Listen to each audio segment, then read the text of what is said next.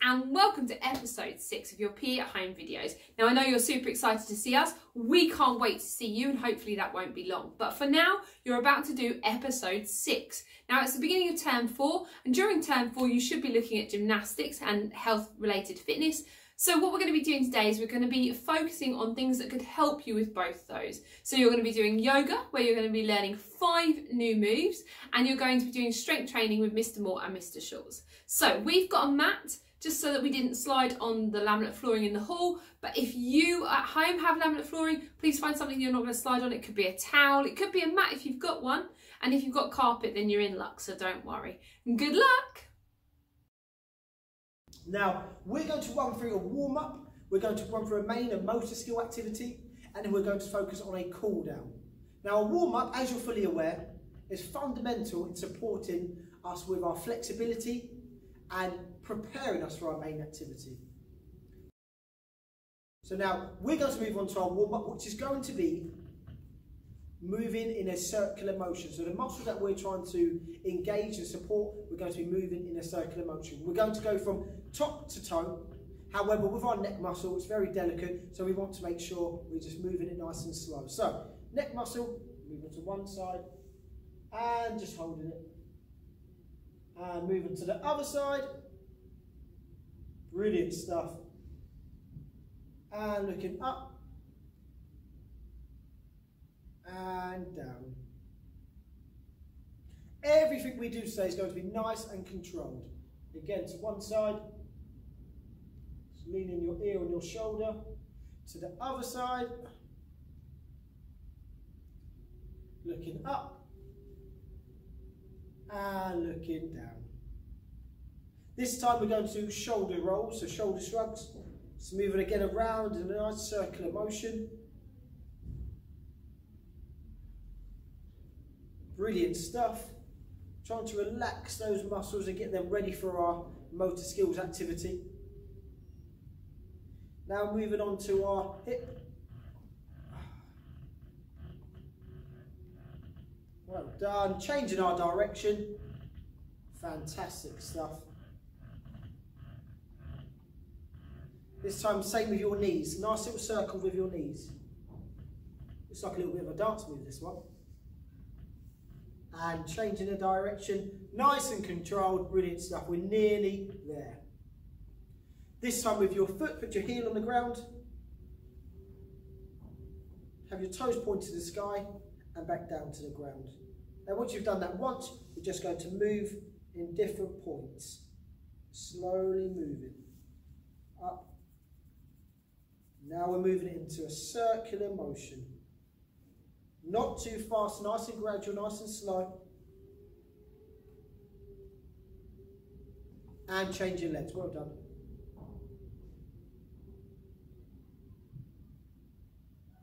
Nice and steady. We're nearly there. Brilliant stuff.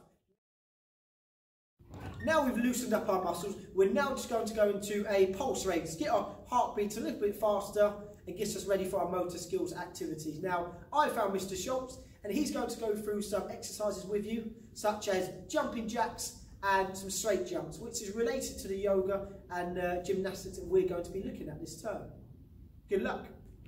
Mr. Schultz is going to do 40 jumping jacks. I wonder if you can do them alongside him.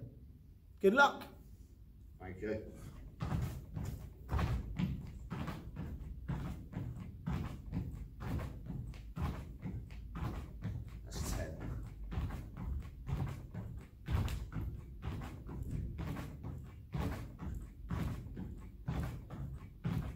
halfway there.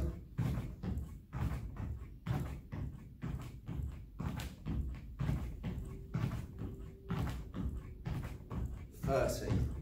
Well done.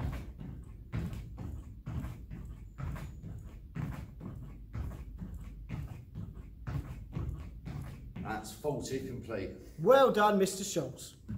Mr. Schultz is now going to do 10 straight jumps. I wonder if you can do them alongside him. If not, have a watch before you have your go.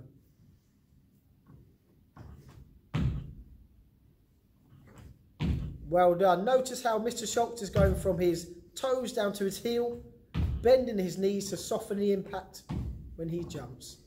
Nice pointed fingers.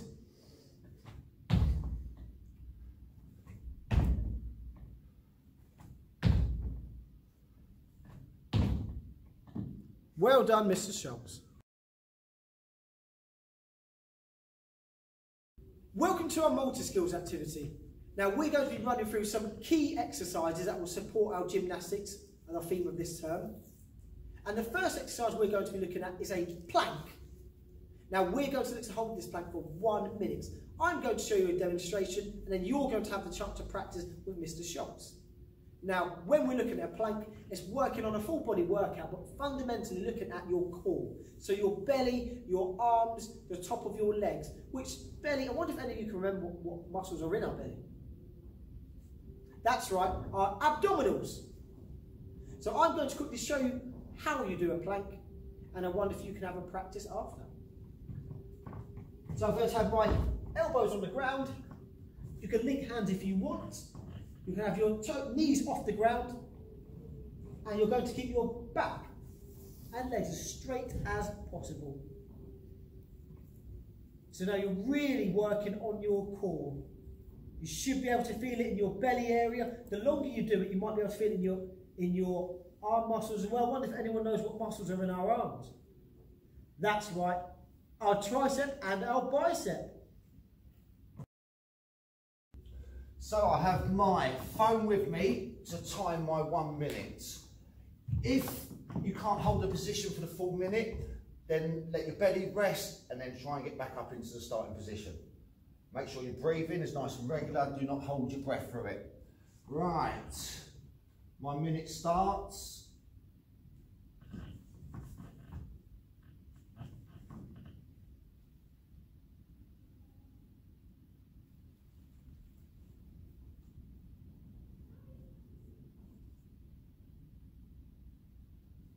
It's important to keep your breathing going and keep your body as still as possible. Really halfway through.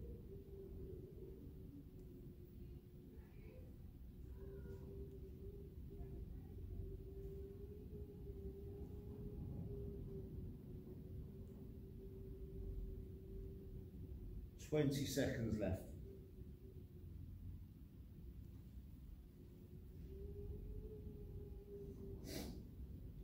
Last 10 seconds. See how I'm trying to keep my body as flat as possible. And that's my minute. Good well luck. done, Mr. Schultz. Exercise number two is called a push-up. Now, for a push-up, we're going to be working on a variety of muscles. Fundamentally, those muscles are going to be on our arms and our chest area. I wonder if you can remember any muscles that we've been working on. What muscles are on our arms? That's right, we have our tricep, which is on the back of your arm. We have our, that's right, bicep, which is on the front of your arm.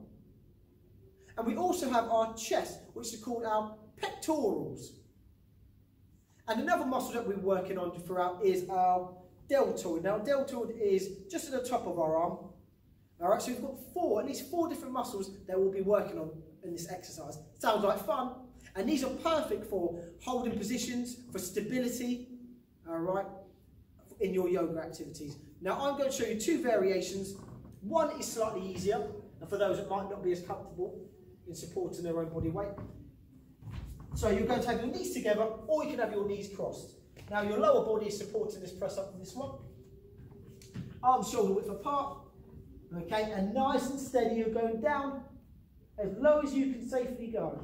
And up, I'm going to cross my legs because I find that easier. And again, down, and up. Well done. Now, if you are a little bit more comfortable, this time similar to your plank, exactly the same body position, however, you're going to be balanced on your hands. So your start position is on your hands. Trying to make sure I'm not going to slip. Okay, back nice and straight and you're going down again. The wider you have your grip, the more it'll work on your pectorals. And up and down. Try and go all the way up so it's working all of those muscles and down. Uh, up. Remember, it's not about how fast you do these activities or these exercises, but it's how controlled they are. All right, the slower, the more steady you do it, the more it'll work those key muscles. Let's see how Mr. Schultz gets on.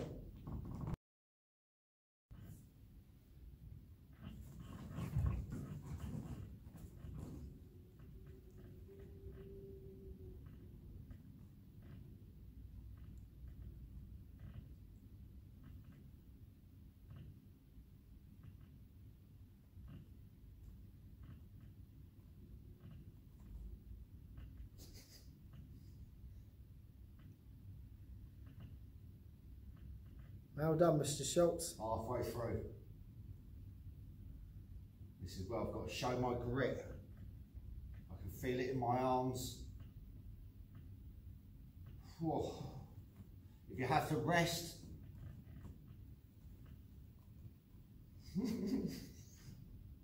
ten seconds. See if I can get two more. Whoa, one. Two. One more for grit. Whoa, three. Well done, Mr. one Our third exercise is called dorsal raises. Now, this exercise is going to be focusing on your, your abdominals, which is on the front of your belly, your gluteus maximus, which is on your bottom, and your lower back. Now, it's a nice, controlled, steady exercise because we're looking at focus on our stability, our core, our balance, always comes into play. Now, for this exercise, you're going to be, need to be laying on your belly, and the idea is to lift your head up. All right, so hands behind your head or hands touching your head, and nice and steady, just lifting your head up as far as you can safely go.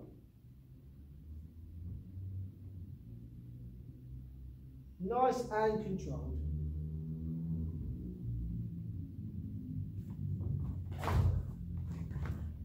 Fantastic. Good luck. Minute starts now.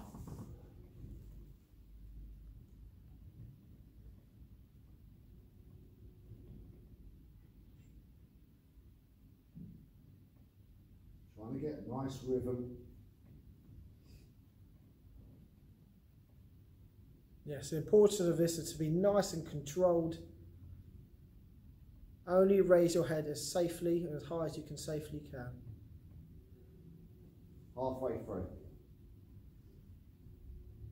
Mr. Schultz should be able to start feeling that in his lower back Yeah, and lower his back. ab- abdominals at the front. Give my eight pack a workout. Ten seconds. And surprisingly, you can feel it in your arms as well. And one minute. Feel it in your arms, mate. Oh, mate, shoulders there. Our second to last activity we're going to be looking at is uh, squats. So our squats are going to be focused on working certain muscles in specific areas which are our quadriceps, which run along the front, and I wonder if you can remember the muscle along the back. That's right, it's our hamstring. Brilliant stuff. So for this, we're going to have our legs just, just further than the shoulder width apart. The idea is to go as low as you can, keep it nice and controlled. For stability purposes, to hold your balance, you might have your hands out in front of you, and you're going to go nice and low. Again, doesn't matter how fast you do this, it's about how slow and controlled. And you're going to do this exercise for one minute. Good luck. Right, my minute starts.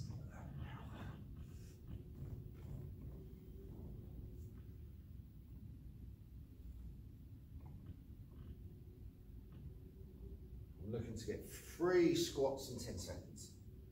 Well done, Mr. Schultz is nice and controlled.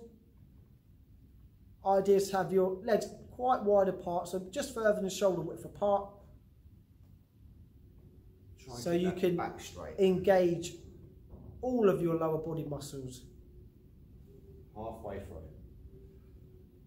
I wonder if anyone can remember the muscle in your bottom leg, also known as your calf muscle. That's right, it's your gastrocnemius. 15 seconds. Nearly there, Mr. Schultz.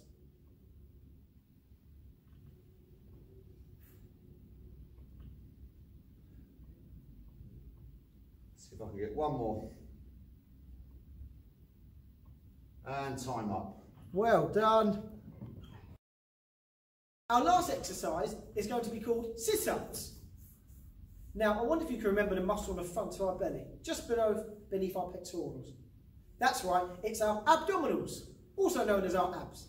Now, I'm going to give you two variations of sit-ups, because again, there's some children might be more comfortable doing the harder sit-ups, and others not so much. It's not a problem, okay? We're all at different levels.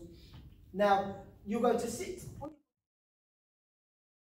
uh, knee slightly bent. Try and get a nice solid foundation, the base of your feet on the floor. And you're going to go back to the first one. Okay, you're just going to raise your legs just so they touch your knees. So just try and get your head up, but you're not sitting all the way up. So you're just raising your legs just so they're just past your knees. If you're not as comfortable, you might just push your hands up so they do touch your knees. If you are a little bit more comfortable, you might be able to get up just slightly more. All right, just engage in those abdominals a little bit more. If you are more comfortable, then you can have your hands by your head, okay, on the back of your head. Okay, remember, don't pull onto your head, just make sure they're touching the sides, all right, or in that area, and you're going all the way, well, not all the way down, you're not touching your back on the floor, you're going all the way up, and you're going slightly down, there we go, just so we're still working on those abs, we're keeping them fully engaged throughout. Two, three, now remember, it's not about speed, nice and steady. Let's see how you and Mr. Schultz get on. Mr. Schultz is going to do the advanced ones, the harder ones to start off with. Then he's going to change with 30 seconds for the slightly easier, the beginners. Good luck. Minute starts now.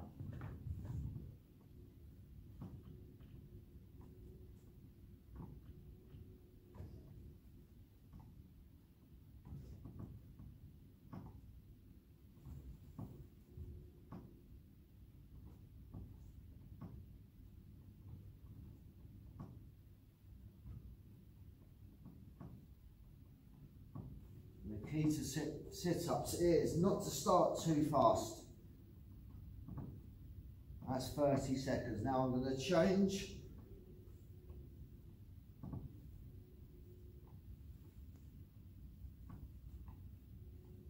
Twenty seconds left.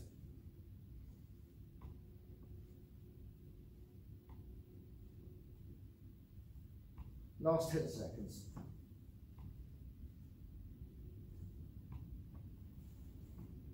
We'll get one more.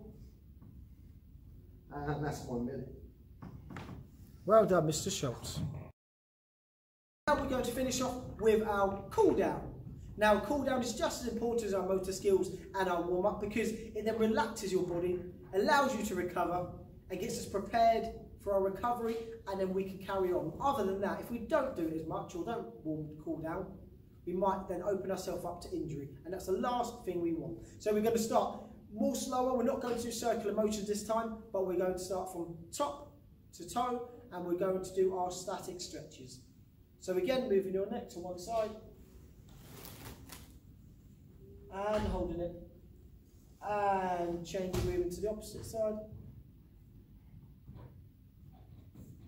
and looking up, and down. Brilliant stuff. One more time, to the left, to the right,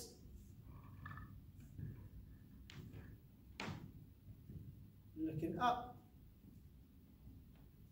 and looking down. This time, we're putting our arm across our body, our other arm underneath. Okay, we're just slightly pulling it towards not too much force. Okay, so one arm nice and straight, one other arm hooked underneath our elbow. Okay, we're going to hold this for about 10 seconds. And quick shake and change. Well done.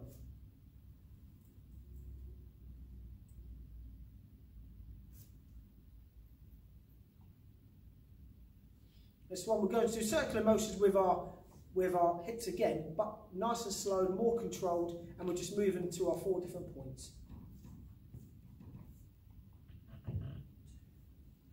Done, and back, and forward. One more time, to one side, to the other side, to our back, and forward. This time we're going to grab hold of our ankle, focus on something that's not moving, and we're going to be looking at our hamstring on this one, our hamstring and our quadricep. Nice and steady, holding on to your ankle, focus on something not moving, you're doing brilliant. Well done. And change legs once you've done it for 10 seconds. Now I'm not able to grab my other ankle, but I'm going to hold it in that position. So remember, hold on to your ankle, don't pull it too tight because you want to cause injury, just enough so you can feel it and your knees are touching. Three, two, one, well done. Now you're going to have your toes pointed to the sky, we're working on our gastrocnemius, which is our calf muscle, well done. Pointing to the sky, maybe hold on to your opposite leg, knees nice and bent, your opposite knee that you're working, the leg that you're working on this one, so it'll be nice and straight with your toes pointing to the sky. You should be able to feel it all the way down the back of your leg. Brilliant stuff. And change over.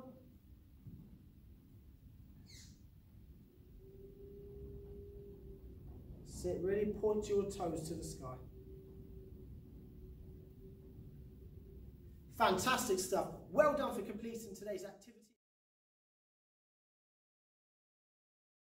So today we're going to look at yoga and we're going to learn a few poses and then as we go on to the next session we're going to put them together and link them as a routine. So we're going to learn lots of different moves today that you're going to try and remember for next week. Now yoga is really good for us. Yoga allows us to develop our breathing techniques, to calm our bodies down and calm our brains down because sometimes it's just a little bit chaotic up in there. So we're going to work through that. We're going to start off with a breathing technique and then we're going to learn lots of different moves. So good luck.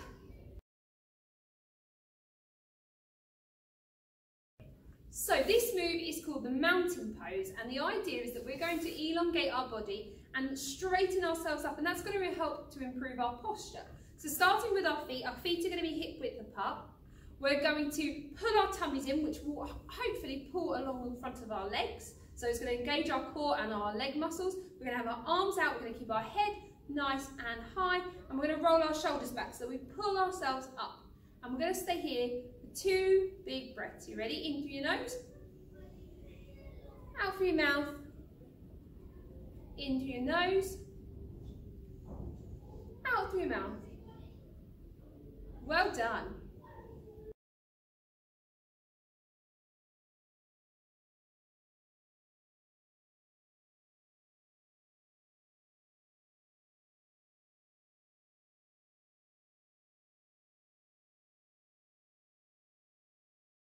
This one is called the chair pose and that's exactly how it sounds. It's going to look like we're about to sit on a chair. So, we're going to start in the mountain pose, which means that we're going to bring our shoulders back. And this is going to help strengthen our legs and our core muscles and our upper body. Okay, so we've got our feet in our hip width apart. We've got our body engaged because our tummy's being sucked in, our legs are nice and strong. And as we exhale, we're going to bend our knees and we're going to go down into a slightly bent position. And as you do that, your arms are going to come up, palms facing each other, and you're going to be sat down. So I'm going to face that way so you can see it in action. So from here, I've got my mountain pose. You can see my shoulders are back. And then as I exhale,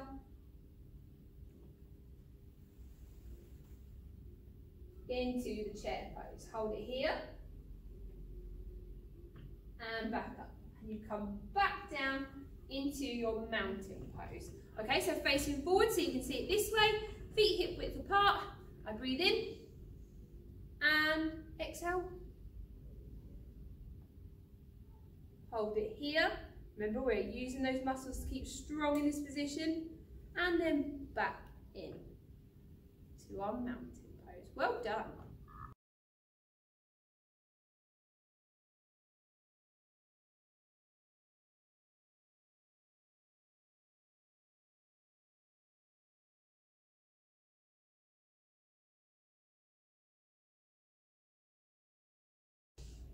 The tree pose. Now the tree pose can be started very easily and you don't have to have an awful lot of balance because you're going to work on it. However, it can go from an easy level all the way up to a more advanced level. And we're going to run through those together. So, tree pose is going to come from a mountain pose. So as you've noticed, the mountain pose is quite a nice, easy one to start with. And to start your tree pose, you're just going to place your weight over one leg. For me, it's going to be my left leg. And I'm going to put my foot here. Okay, so you'll notice I'm now balancing on one leg. My foot isn't too high. And I'm going to bring my hands in and I'm going to hold it here, trying to keep myself as still as possible. So not only am I working on my balance, I'm working on my concentration. I'm concentrating on trying to keep as steady as I possibly can. Then when you're ready to come out, back down into your mountain. So if we were to make that a little bit harder, I'm going to bring my foot up towards my knee. So I'm going to come in and I might just get it up to my calf. So from here, I'm going to bring it in, keep my hands here. Remember, I'm concentrating. And back out into your mountain. Now, for those of you that are quite flexible, which is what we're working on, you might want to bring your knee even further up towards the top of your leg. Now, I'm a little bit unbalanced on this one, so I think I'm gonna have to practice. And then you're gonna get yourself back into that hand pose. So you're now in the tree pose. Engage your core, bring your quads forward, and hold it here. Remembering those breathing techniques. Good, I can feel my legs slipping down, so it's not a problem, but as long as I say balance, are you ready? And then back down into your mountain pose. Well done.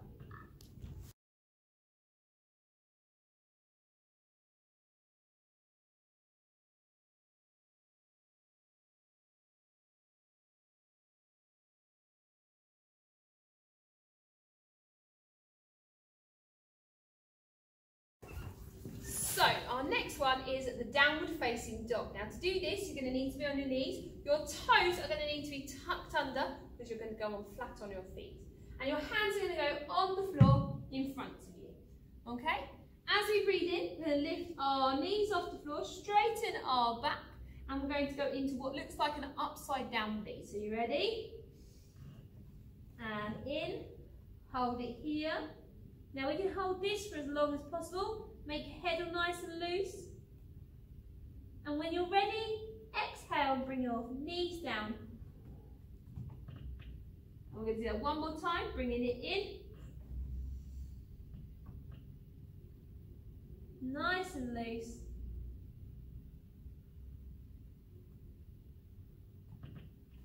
And that's downward facing dog.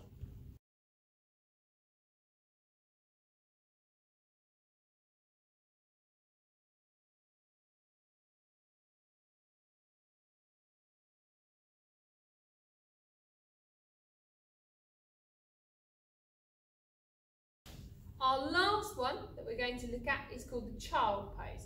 Now this is a nice easy one and it helps us to relax. So your toes are going to be touching, your knees are going to be hip width apart and you're going to be kneeling like I am now.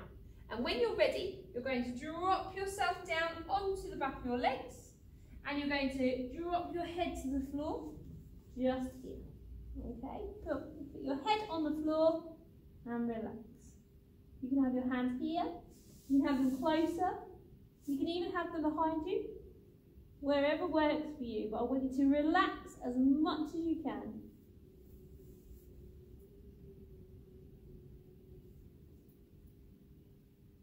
And then when you're ready, bring your arms back in. Exhale.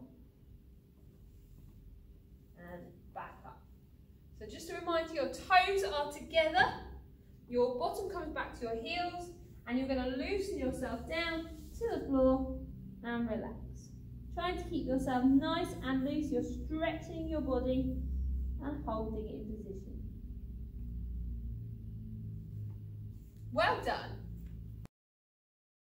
Yay! You did it! Episode 6 done. So, beginning of this term is obviously going to be unusual because we can't give you gymnastics things to do at home, but hopefully the yoga is going to improve your flexibility and your strength, and the strength training is going to work your entire body so that you are ready for those moves like handstands, cartwheels, all those things that involve a lot of core strength. So well done for today. I hope you are looking forward to episode seven and we will see you next week. Bye.